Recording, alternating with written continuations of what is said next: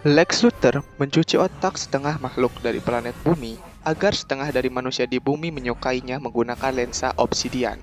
Selain itu, Lex juga mendapatkan kekuatan gabungan dari botol anggota Leviathan. Di sini, dia berniat untuk menghancurkan seluruh makhluk yang tidak menyukainya. Lalu, tim Kara Denver berhasil menghancurkan Ganai dengan mengunggah suatu algoritma ke dalam konsol terdekat untuk mematikan anti-life. Kemudian, Kara menawarkan untuk menyerahkan dirinya sendiri di Fortress of Solid. Dengan imbalan, Lex harus menjatuhkan satelit penghancur miliknya. Di sini, kekuatan Lex berhasil dihilangkan tetapi dia berhasil mengalahkan teman-teman Kara. Bahkan, Kara dikirim ke Phantom Zone sebelum dia kehilangan kekuatannya secara total.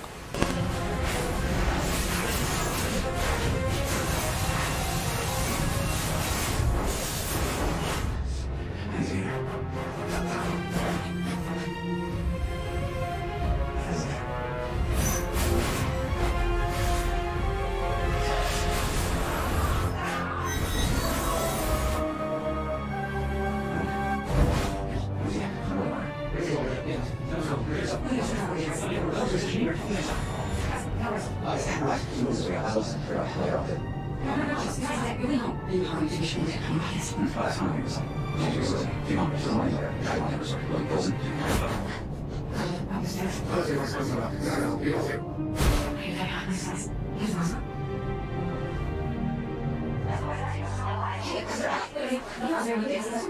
Sementara itu, J. John Jones dan M. Gun M. Ors berhasil menghancurkan satelit penghancur milik Lex dan mengirim Lex ke penjara. Kemudian, Lilian Luthor mengunjungi Lex di penjara nasional. Tetapi, sekarang Lil Luthor sudah tobat dan menggunakan Myriad untuk menghapus identitas Supergirl dari ingatan masyarakat. Kemudian, sebagai Arkara, Andreas Roger secara diam-diam membeli saham milik ayahnya di Obsidian dan mencoba memulihkan kembali perusahaannya. Ji On dan M Gun mulai mencari orang untuk membantu mereka menyelamatkan Supergirl, termasuk saudari laki-lakinya yaitu Malefic. Namun sayangnya, mereka tidak berhasil.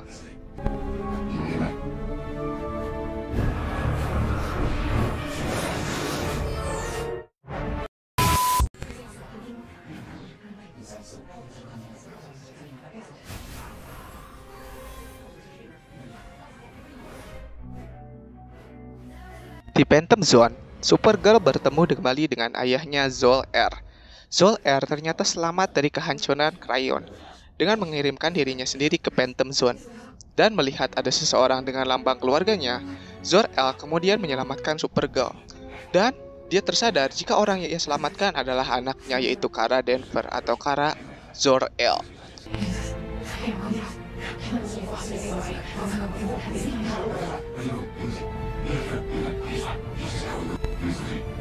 Sementara itu, Alex Denver sangat panik karena kehilangan adiknya Supergirl dan melihat hal tersebut. John mencoba memberikan super pada Alex.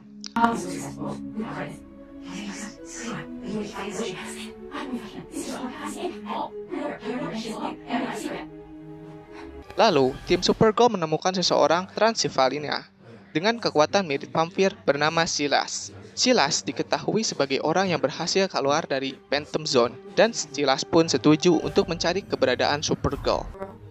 Namun, karena krisis, zona di dimensi menjadi pecah dan sulit untuk diprediksi atau bahkan dikendalikan, sehingga Supergirl tidak dapat ditemukan. Kemudian, tim Supergirl dengan bantuan Silas mencoba untuk membuka portal ke Phantom Zone. Namun saat portal tersebut terbuka, mereka tidak bisa masuk Malahan di sini beberapa Phantom justru keluar dari zona tersebut dan mencoba menyerang tim Supergirl. Tetapi untungnya mereka dapat memasukkan kembali para Phantom Zone ke Phantom Arena.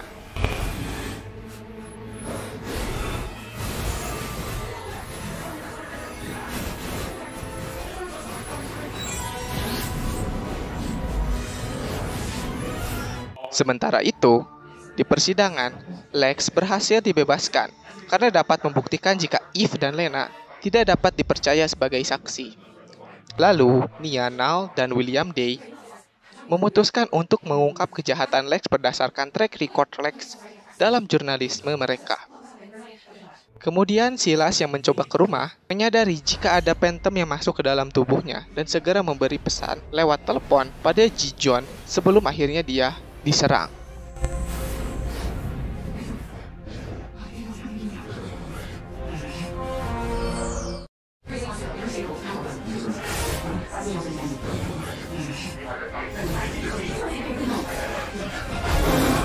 Sila sempat bertarung dengan Phantom yang tadi merasukinya, tetapi dia kalah telak. Tidak lama dari itu, Jejon menemukan Sila sudah terkapar dengan luka di lehernya. Lalu, M. Gun mencoba untuk mencari dan melawan Phantom tersebut, tetapi M. Gun kalah seperti Silas.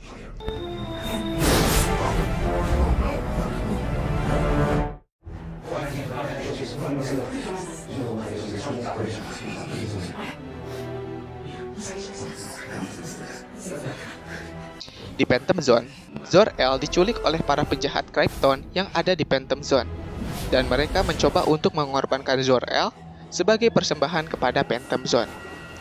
Di sini, kaki Kara terluka parah, tetapi untungnya dia diselamatkan oleh putri dari dimensi kelima yang bernama Nixel GSPTLNZ yang mengenal Maxia Ziplik. Di sini terungkap jika Nixil dikirim oleh ayahnya sendiri ke Phantom Zone karena urusan politik.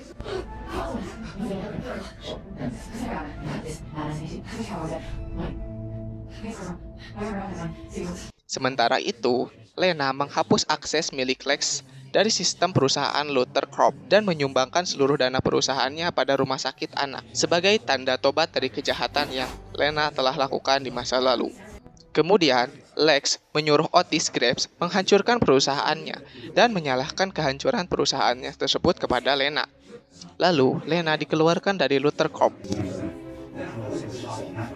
Sementara itu, Kelly Olsen mencoba membantu Alex yang galau karena kehilangan Kara.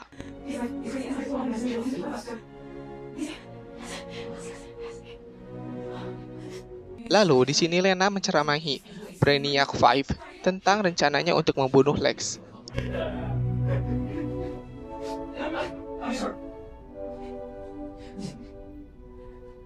Kemudian Lex membuat Lena secara resmi dikeluarkan dari Luther Crop.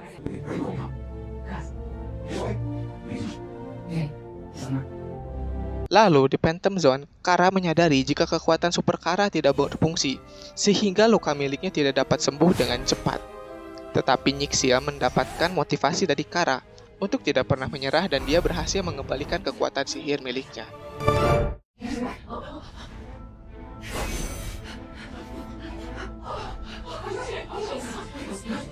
Sesudah itu, mereka menyelamatkan Zor-El. Di sini terungkap jika Phantom Zone ternyata adalah dimensi penjara yang diciptakan oleh Alura Zor-El, atau tidak lain dan tidak bukan adalah ibu dari Kara Zor-El.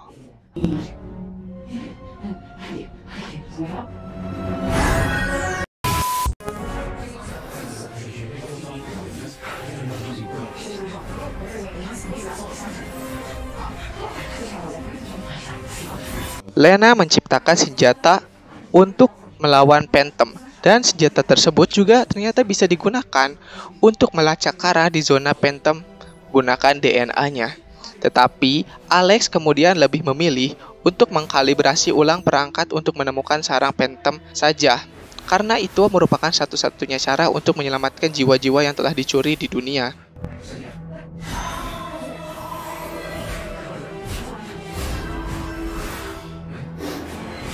Nia mendapatkan penglihatan tentang Kara dan Alex di SMA Mid Valley dan membantu Brainy memproses emosinya.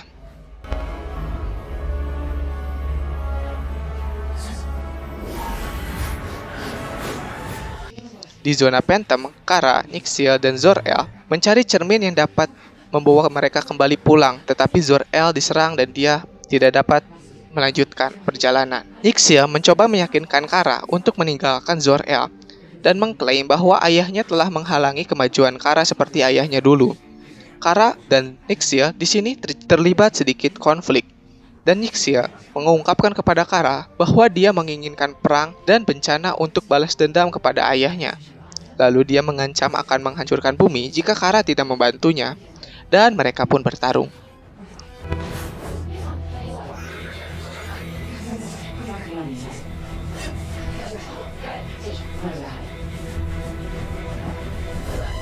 Saat bertarung, Kara menghancurkan cermin untuk mencegah Nyxia kabur dan memulai peperangan. Di bumi, Sentinel, Brainy, Dreamer, dan Jijon berhasil mengalahkan Phantom yang berhasil kabur dan melepaskan jiwa-jiwa yang sudah dikumpulkan oleh Phantom-Phantom tersebut.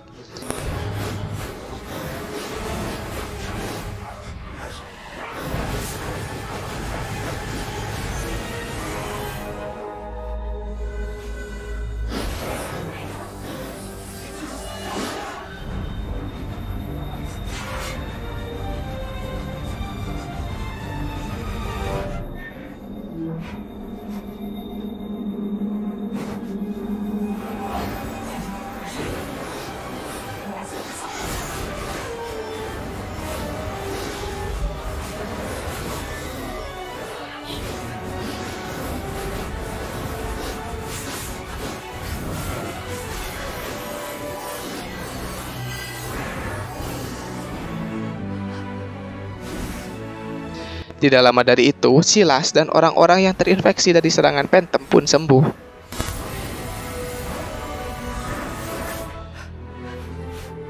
Kemudian, tim Supergirl mencoba untuk kembali ke masa lalu, tepatnya ketika Kara masih SMA, dan mencoba untuk mengambil sampel DNA miliknya.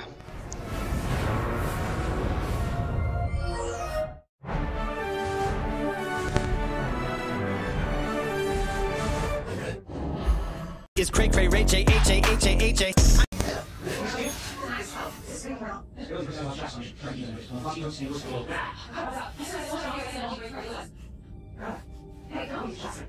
Di masa lalu, tepatnya di Mid Valley pada 2009, Alex baru saja masuk kuliah sementara Kara masih menjadi anak SMA dan dia memiliki pacar yang bernama Kenny Lee. Di sini juga ada Kate Green yang sedang mencari informasi untuk dia jadikan berita di Daily Planet. Kemudian Kara, Alex, dan Kenny bertemu dengan Brainy dan Dreamer dari masa depan. Sementara itu, ternyata mereka sedang diburu oleh seorang profesor dan antek-anteknya yang ingin membuat sebuah kebun binatang berisikan para alien berkekuatan super. Di sini, mereka mencoba untuk menangkap para Kryptonians. Sementara itu, Kara dan Dreamer harus menggunakan kekuatan mereka untuk mencegah suatu bencana. Namun sialnya, aksi mereka ternyata disaksikan oleh Cat. Kemudian Cat meminta seorang anak dengan drone kecil untuk mengamati Kara.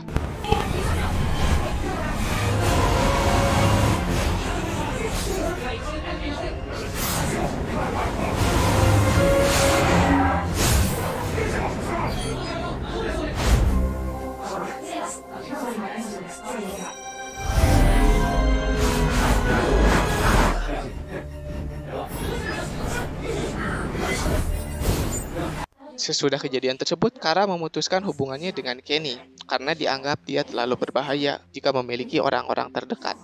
Lalu di sini, Kara terkena Fortress of Solute atau suatu keadaan di mana Kara kehilangan kekuatannya karena perasaan sedih. Lalu, Kara sekarang menjadi lemah sedikit demi sedikit.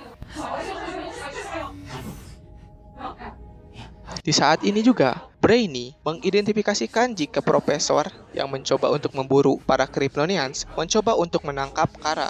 Dan di sini, kejadian di masa lalu telah berubah, karena Kara diketahui akan ditangkap dalam tiga hari ke depan oleh DEO Uruguay. Mengetahui hal tersebut, Brainy dan Dreamer mencoba untuk menghentikan Torque atau profesor yang ingin menangkap Kara, tetapi mereka justru malah tertangkap.